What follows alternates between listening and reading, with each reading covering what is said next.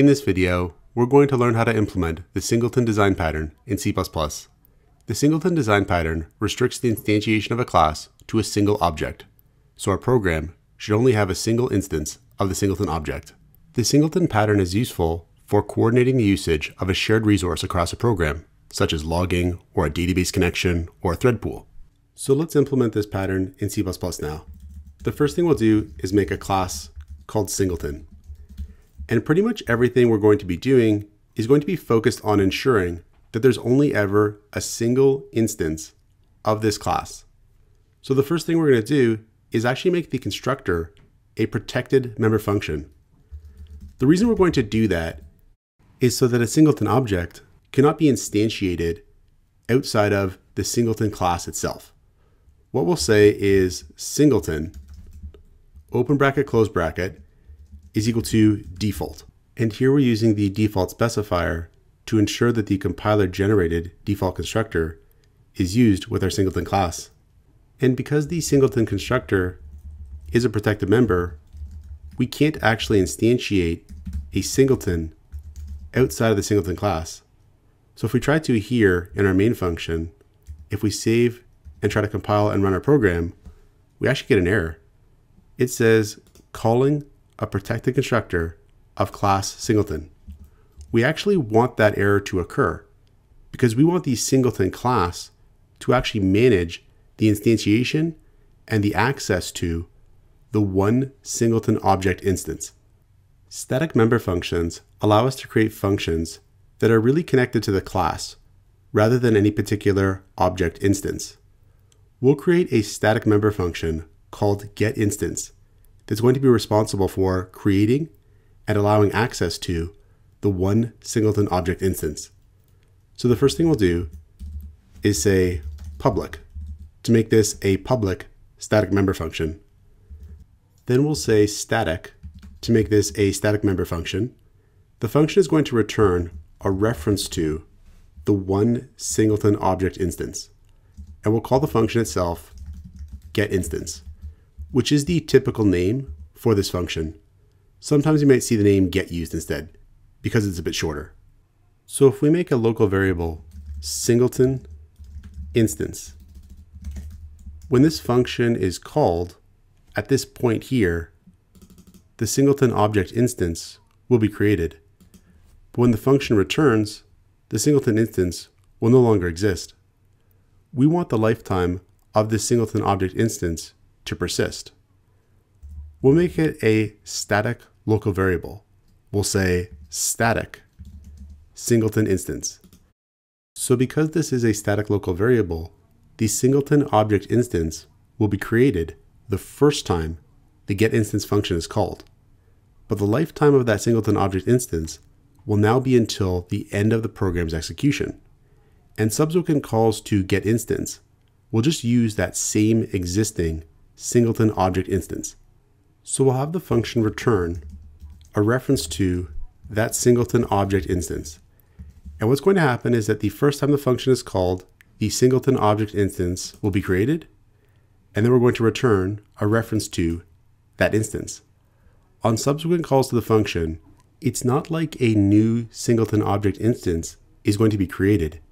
Instead, because it's a static local variable, that existing singleton object instance is still there, and the function is going to return that same instance. Now just to make our singleton object a little bit more interesting, let's add a public member variable, data, that's going to be an int. That will also be useful in making sure that we do indeed have a single singleton object. Now let's try to use our getInstance static member function to actually get at the singleton object instance. So down here in our main function, we'll comment out this. And now we'll say singleton, and we'll have a reference to a singleton. We'll call it singleton1. And we'll assign it singleton colon colon get instance. So we're calling the static member function get instance. And you can see here, it's really connected to the class rather than any particular object instance. So we're using singleton colon colon to access it. Now we could actually set the data member variable of the singleton object instance by saying singleton 1 dot data is equal to 20. And right now, we're setting the data member variable of that singleton object instance, the one instance. Singleton 1 is just a reference to that instance. We could output this member variable. We could say cout, and we'll have singleton 1.data is equal to, and then we'll output the value itself with singleton 1.data followed by a new line. And if we save this and run it, we'll get singleton 1 data is equal to 20. Now what if we made a second reference to the singleton object instance using the getInstance function again? So we'll say singleton and singleton 2 is equal to singleton colon colon get instance. So on the second call to the getInstance static member function, it's going to be returning a reference to the same singleton object instance as before. So for example, we could say cout and we'll have singleton2 here now. So we'll have singleton2.data and singleton2.data. And if we save and run this, we're going to find that singleton2.data is also equal to 20. And that's because singleton2 is a reference to the same object in memory the same one singleton object that's allowed to exist. We don't actually need to use a reference variable to access the singleton object instance. We could just say singleton colon colon get instance. And this is going to return the reference. And we could just use it directly. So we could say dot data is equal to 50. Then we could output the data member variable and we'll see that it's been updated to 50.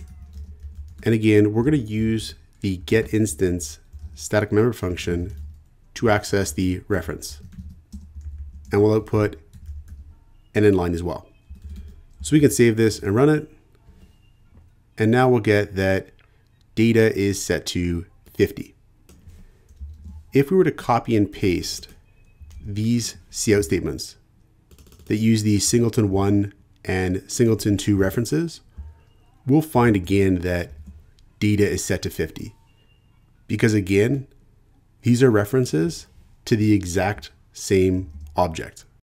Our implementation as it is now could be a bit error prone, especially if the programmer were to make a mistake. So for example, if we said singleton and then singleton n, and we forgot the and here to make this a reference, and we said this is equal to singleton 1. This is called the copy constructor. This is going to create a copy of the singleton 1 object. And it actually will be a copy. We can tell by setting the data member variable of singleton n. So if we say singleton n dot data is equal to 100, and then we output singleton 1 dot data, and we output singleton n data, we're going to find that they actually are two different values. So if we save and run this, we'll get that singleton 1 data is still 50, but singleton n's data member variable is now 100. So there actually are two singleton object instances right now. And that's because this here uses what's called the copy constructor. That's a special member function that classes in C++ are given by default. And the copy constructor will result in a new singleton object instance being created. To solve this problem, we can make the copy constructor a deleted function. So what we'll do is up here, say singleton const singleton reference is equal to delete. And here we're using the delete specifier to turn the default copy constructor into a deleted function. We're telling the compiler explicitly not to include this function in our class. Now if we try to save and run our program, we'll get a compiler error. If we scroll down here, it says call to deleted constructor of singleton. So by using this delete specifier, we were able to turn the copy constructor into a deleted function. This will explicitly prevent it from being used to create more singleton objects. For a similar reason, we should also turn the move constructor and copy and move assignment operators into deleted functions. So we'll say singleton, singleton, and and for the move constructor. And then we'll say singleton and operator equals const singleton and is equal to delete for the copy assignment operator. And then finally, we'll say singleton and operator is equal to singleton and and is equal to delete for the move assignment operator. And if we save and run this, all of this code here will be okay. We still get a compiler error though, because we're trying to use the copy constructor. We purposely made the copy constructor a deleted function to prevent programmers from using the copy constructor.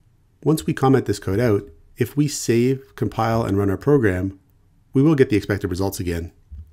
There's a couple things about the implementation of our singleton design pattern that I should point out. So right here, when we use a static local variable for our singleton instance, this actually has a couple good properties.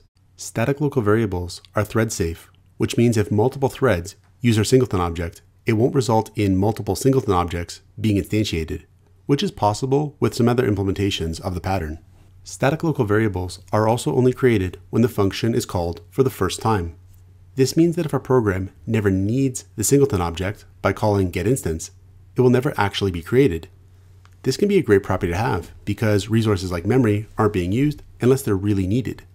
We call this lazy instantiation, and it's in contrast to eager instantiation, where a singleton object is created in advance. Some people consider the singleton pattern to be an anti-pattern. In other words, something we shouldn't use because it introduces global state in our program, which can lead to code that's more difficult to debug, understand, and trace due to side effects that occur as different parts of the program modify the shared state over a period of time. So a similar problem to that of global variables. This might be a fair criticism of the pattern, but sometimes it doesn't matter as much. For example, we could use the singleton pattern to store read-only configuration information for our program that is read from a config file at the start of our program's execution. This sort of configuration data might be required by all different parts of our program, but at the same time, because it's read-only data, side effects wouldn't occur. So this has been how we can implement the singleton design pattern in C++. Check out portfoliocourses.com, where we'll help you build a portfolio that will impress employers.